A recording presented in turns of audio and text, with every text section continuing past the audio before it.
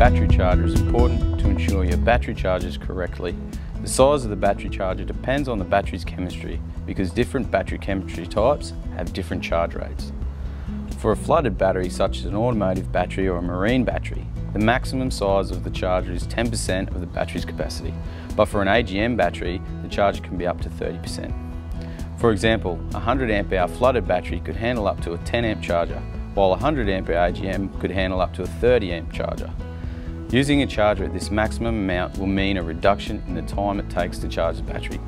You would normally charge at this maximum rate when charging from a generator to help reduce fuel consumption or other situations where a fast charge is required.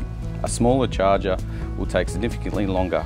Additionally, too small a charger, for example a 3 amp charger on a 280 amp hour battery will struggle to charge the battery to full. Once you've worked out the charger size, check that the charger supports your battery's chemistry.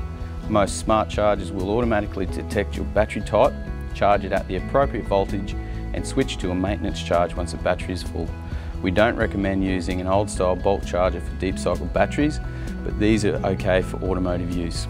If you've got any other questions, feel free to get in touch with the experts and we'll be able to help you out.